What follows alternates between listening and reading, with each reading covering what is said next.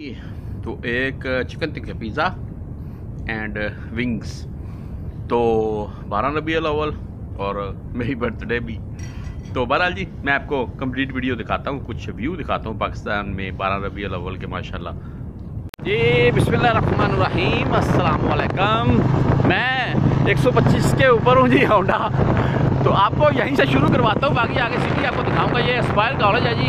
माशाल्लाह, इसकी भी मुकम्मल तौर पर लाइटिंग की आप देख लें। और आगे हमारे इलाके का माशाल्लाह दरबार है जी, और शायद आप जानते हो, इसके मतलब कर्मा वाला शरीफ से बोलते हैं जी। हज़रत कर्मा वाला शरीफ, और ये माशा लाइटिंग की गई कम्प्लीटली तौर पर काफ़ी खूबसूरत बनाया गया यार। अच्छा मैं बाहर से आपको दिखा रहा हूँ, वैसे ऊपर ऊपर से अगर गुंबद वगैरह देखे ना तो कंप्लीट तौर पर लाइटिंग की गई है।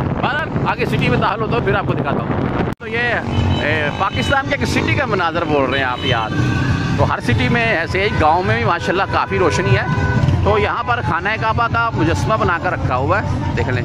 यानी कि उन लोगों ने ए, उस टाइप की एक कॉपी की हुई है।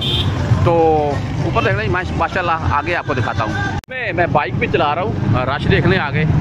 और फैमिलीज़ आई हुई हैं, माशाल्लाह।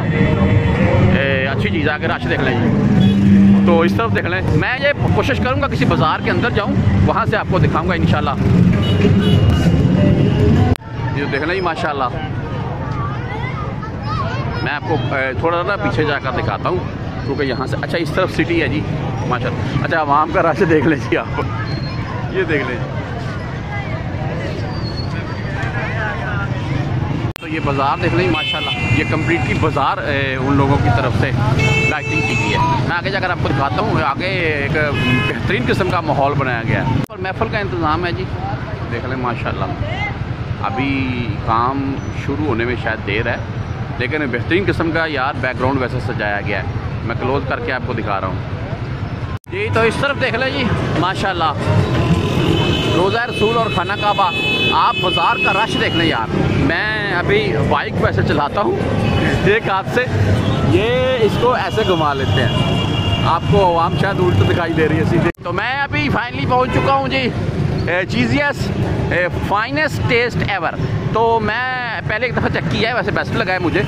तो बहरहाल जी, यहाँ से लेते हैं, यहाँ बैठ कर खाते हैं तो देखते हैं। बहरहाल बाज़ार की कंडीशन एंड चीजियस माशाल्लाह खूबसूरत सजाया गया यार, वैसे।